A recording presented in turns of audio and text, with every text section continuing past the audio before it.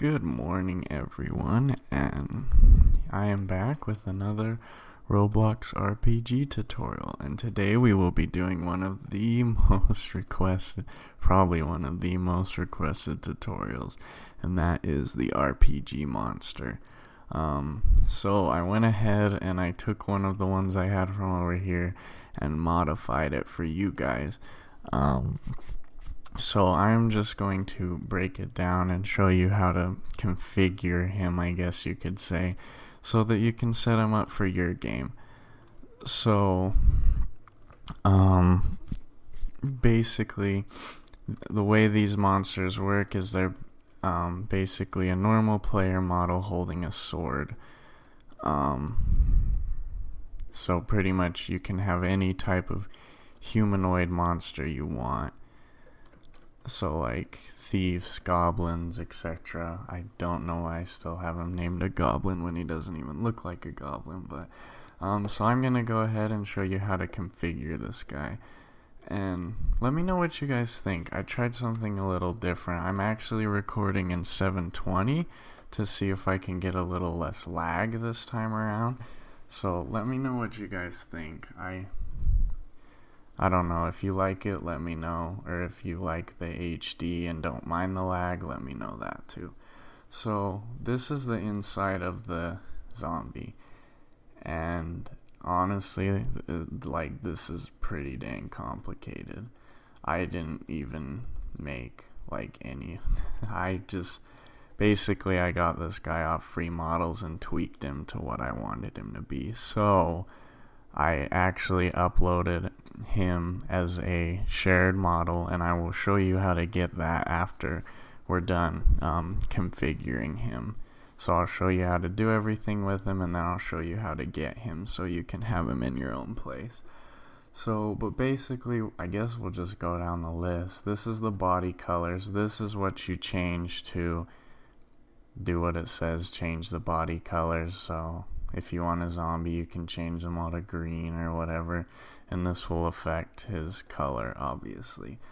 Um, the next script is the animate script, and you do not have to change anything in there. Don't worry about that one. Now, the XP gold script, this is probably the main one that you will want to change. Basically, what this one does is when the monster dies, it will look for who killed it and give them gold and XP. So, yeah, as you can see, basically does all that. And then the only two things you'll want to change here are these two, well, I guess three technically, are these two values and this one. So this first one is how much gold will be awarded, and right now it's set up on a random number. So when you kill this goblin, you'll get a random amount of gold one between 1 and 20 um, and then it grants 10 XP you can so let's say you watched my last video and you decided that you did want like a kills thing on your on your leaderboard. You can come down here and just like copy and paste the XP line and you can just change this to kills and this to kills and change this to plus one and then you can say kills. And then that will just increase the kills value by one obviously if you want a kill counter in your game. But I am going to remove that because I'm sure most people won't have one of those. Um, if you want to award just like a base amount of gold just get rid of this and replace it with a number. So now it will just give you 10 gold um, but I, I like to keep it random. I think it keeps it interesting. Okay, next is the follow. This is the other one you're going to want to change. Really, the only need number you need to change is this dist variable. This is basically the monster's aggro range in studs. I think it's in studs. So right now, when you're five studs away, he'll aggro onto you, which is really not that big of a radius. it's probably a little bit further out than like his sword. Maybe like a stud or two. So I have these guys set to really small because over there they're also close together. But you can change that so they can pretty much come and attack you from across the map, like if you have a zombie game, for example. Um, and of course, you can get rid of the sword. I'm pretty sure you just delete the sword and the sword carrier script, and that should get rid of the sword. Don't quote me on that though, if you want like zombies. Um, okay, health regen. You can change this one. This one just re- this. If you just change this number here, it will set. It will edit how much health regens over a period of one second. You can completely take this script out if you don't want their health to regen, or you can change the wait time or the amount of health that regens after each wait period. Um, the sword. You need the sword to be named the same thing, and um, basically, I'll be honest with you, the sword is kind of just for looks. Like, as you can see, excuse me, it has no script in it. So, really, if you want a new sword, like if you'll notice how this guy has this kind of curved sword, and then these guys over here have like the standard sword, all you really have to do is spawn in the weapon you want and just copy and paste in the mesh. That way you can keep the sword where it's supposed to be and everything, but you still can get different looking swords. Um, next is mode. You don't have to worry about that. Respawn. Um, basically, the script every second it will check to see if the zombie's dead. If it is, it will respawn them every five seconds. Um, you can change the respawn interval if you want, but basically, this means potentially your monsters will take six seconds to respawn, depending on what how long it's last been since it's checked to see if it's dead. Um, so yeah, you can just change this way to um, for how long it will respawn till it respawns. Sorry. Um, this is just a sword carrier. You do not need to change anything with it, but I'm pretty sure if you do delete it, you'll have a zombie. Maybe we can test that.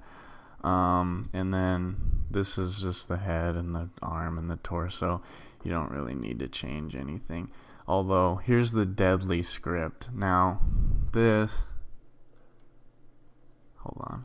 Yeah. The deadly script is actually where the damage will come from. So the player actually does not get hit from the sword. If you notice, the sword, it passes right through. Um, I guess if you wanted to, you could put the deadly script in the sword and just put the sword to collidable. Um, but for some reason, I put it in the arm. I'm not too sure. But basically, this is where you edit the monster's damage. So right here, this goblin only does 2 damage per hit, which isn't a lot. So basically every time you touch his right arm, you'll receive 2 damage. And yeah, if you want, you can put that in the sword or just leave it in his arm, whatever you want. Um, like I said, this is kind of your monster. Don't mess with this stuff. Those are his joints. And then these are the meshes. So if I delete them, he turns back into a block guy. Of course, if you want, you can always change the where is it the here it is the mesh ID and it will change like the the mesh. So if you want like what's some of the other meshes, the knight outfit or something, you just change the IDs or you just copy and paste in new of these. Um, but yeah, that's pretty much it for setting up the zombie, I'm pretty sure. Of course, if you want to change his name, you just change the name of the model. Um, actually, let's go ahead and live test the making him a zombie thing. So let's get rid of these two and see what happens. I'm going to cut these just in case it doesn't let me undo. okay. Oh yeah, looks like he still works. And he's causing damage to us. The only problem is he doesn't really stick out his arms if you get rid of the sword. Oh, but he killed us. So, yep. Alright, now I'm going to hop in and show you guys how you can get a copy of this guy. Hey guys, so here we are at Roblox. So I'm going to go ahead and show you how you can get the model. So go ahead, come up here to the search bar and just search my name. It's the same as on YouTube. I hope it will just search people since I oh my gosh this thing searches different stuff every time and it kind of ticks me off so make sure you click on in people or else it will search the catalog. You can see I'm online for now. Then you can come over here to my page.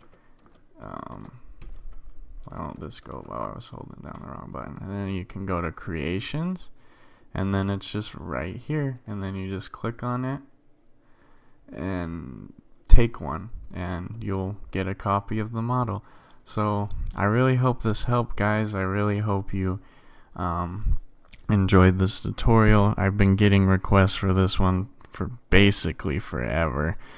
So I hope it helped out.